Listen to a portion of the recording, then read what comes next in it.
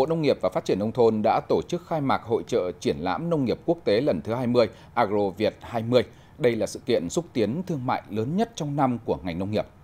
Năm nay xuất khẩu nông sản gặp khó khăn do ảnh hưởng của dịch bệnh, bởi vậy hội trợ lần này sẽ thúc đẩy tiêu thụ nông lâm thủy sản tại thị trường nội địa gắn với cuộc vận động người Việt Nam ưu tiên dùng hàng Việt Nam. Hội trợ còn là cơ hội để các tỉnh thành trong cả nước có điều kiện quảng bá, giới thiệu về tiềm năng trong lĩnh vực nông nghiệp, xúc tiến thu hút đầu tư phát triển ngành nông nghiệp của địa phương. Với quy mô 200 gian hàng, hội trợ sẽ diễn ra đến ngày 6 tháng 12 tại khu hội trợ triển lãm giao dịch kinh tế và thương mại quận Cầu Giấy, thành phố Hà Nội.